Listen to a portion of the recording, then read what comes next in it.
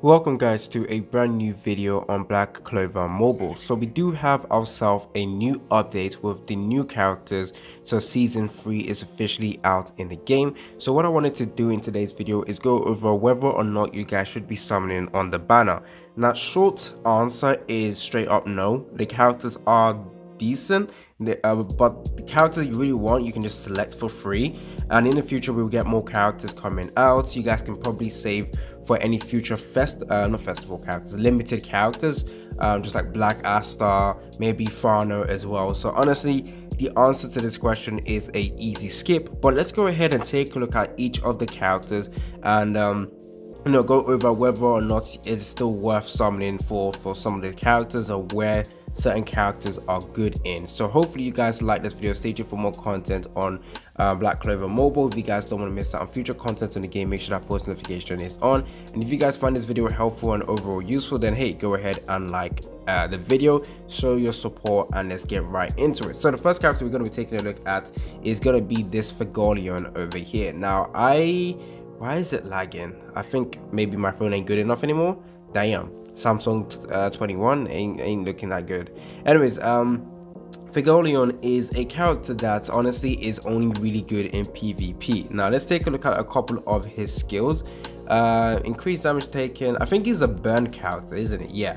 So this is his first skill over here. So launches several small bullets, um, uh, dealing damage, basically inflicting continuous damage to an enemy for two turns. Um, yikes, not really that strong. Um, second skill over here, inflict continuous burn damage to an enemy for two turns. Attack after removing an enemy's barrier if they are taking continuous burn damage.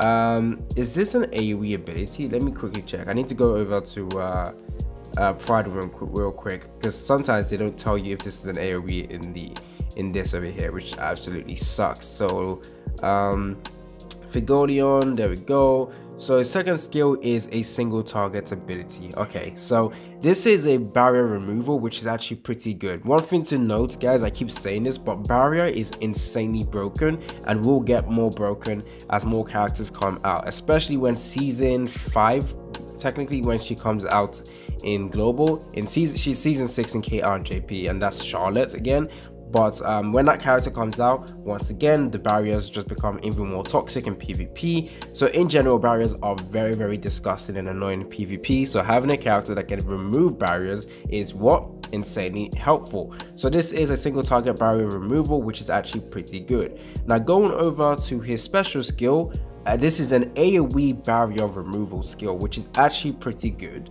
So wait, um, based on the instance of continuous damage, increased damage. Yep, yep, yep. Removes burn from an attack after removing an enemy's barrier. Okay, so this is a guaranteed removal of barrier. So currently right now the meta is using the um, Noelle, the season 2 Noelle, as well as uh, what's his face, Rades with the shield. And that essentially is absolutely meta right now. So if you want to counter that, technically you can go ahead and use Fuegoleon Make sure his speed is good. How how what is his speed? I can't really see his speed stat, which is annoying.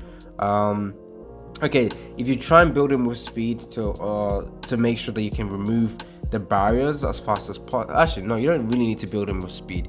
Wait for Noelle to use a barrier, wait for uh, Rades to use his barrier, and then use your Fuegoleon to just remove it. Uh, then again, you'd still have to run barrier on your own team, but that's fine. Um, this is actually going to be pretty good if you want to remove barrier and you have Julius as well. Um, so you have your single target damage over there, but that AoE as well from his second skill is going to be pretty useful. So in general, I think Fuegoleon is actually a pretty good character in PvP. I wouldn't say he's absolutely meta, even though I think barrier removal is amazing, but essentially most of his other skills are not that good. Now, continuous damage, right now is just not great in PvP because essentially you have characters that just nuke. So nuking is 10 times better than just stacking up damage over periods of time. So essentially this is uh, not as good as it sounds. Besides the only really good thing I like is the barrier removal and the increased damage taken. And then he also has increased damage over here. But honestly not really that strong. And his first one over here is enhanced passive increased damage dealt yeah that's another burn mechanic grants immortality for one turn uh, upon having less than 30% HP. That's actually pretty good for PvP, but I wouldn't say he's like the top tier best PvP character, but he is actually pretty useful in PvP, especially if you have characters that have a lot of barrier. Now, the character that everyone needs to go ahead and get is basically this Charlotte over here. This Charlotte is the best character um, out of the three units and honestly just go ahead and get her it would help your account and you don't even need to summon like I mentioned multiple times. Now she's good in both PvE and PvP content.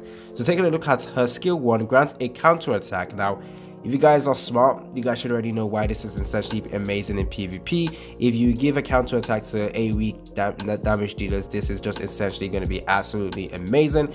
Um, even to Julius as well, to multiple characters as well. This is just essentially amazing. Counter attack is very, very nice. Um, so grants counter attack to the ally with the highest all attack for one turn. It's only to one enemy, um, one unit, sorry, one ally. Going over to her second skill, increase all attack. Now, not many character in this game has all attack buff. Um, I think the only one that does this so far um, is uh, the Gauche, Season 2 Gauche.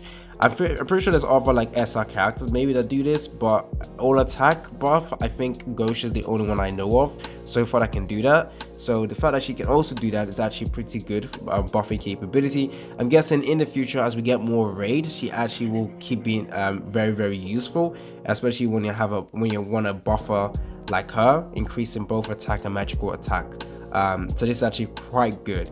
And then going over to her last skill, um, so sorry, her special skill grants all allies a 60% chance to counter attack. Now this essentially is amazing in PvP. So you use her, um, use her ultimate or special skill, sorry, give all your characters counter attack. Um, and this is just essentially going to help you guys out a lot. And then going over to her combination attack, reduce damage taken, grants all allies a 12% damage taken um, buff, reduced damage taken buff for two turns. Absolutely amazing in PvP. Um, going over to the first passive over here, grants SP plus one upon taking damage. Yo, this this is amazing. Uh, enhancement level two. This is when you get uh, two dupes into her, but it's actually pretty good. Um, yeah, this is actually pretty nice. Um, going over to this passive over here when you get to LR, if all allies have the technique attribute, when the battle starts, inflicts, inflicts silence on all enemies for one turn.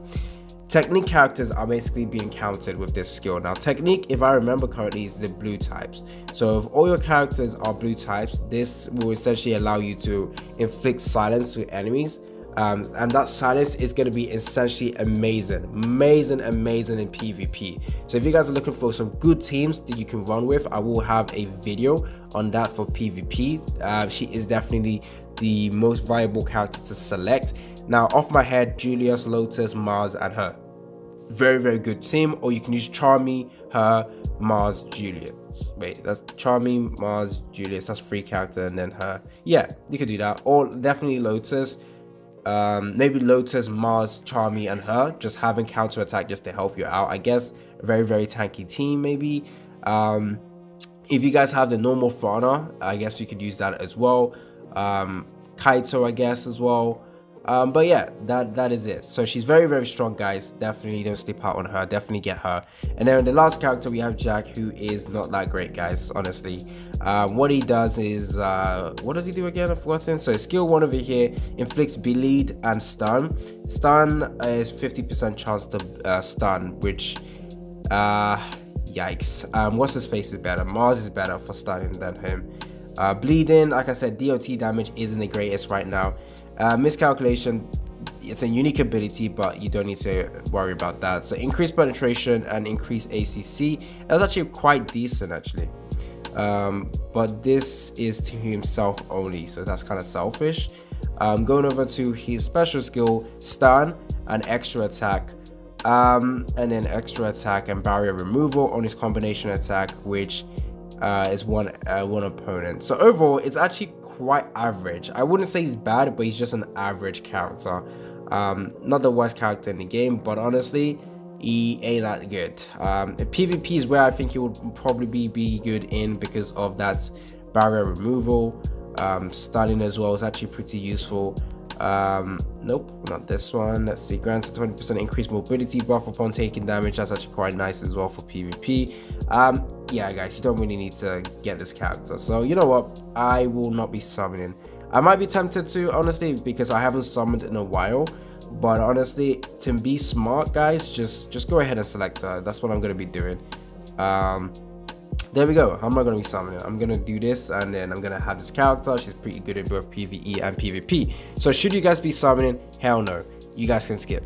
Um, and then wait for like season season four when that comes out. That's actually going to be pretty good. Season four is going to be the um, Halloween characters, but I believe they changed the names to like uh, uh, party or costume. They call it costume.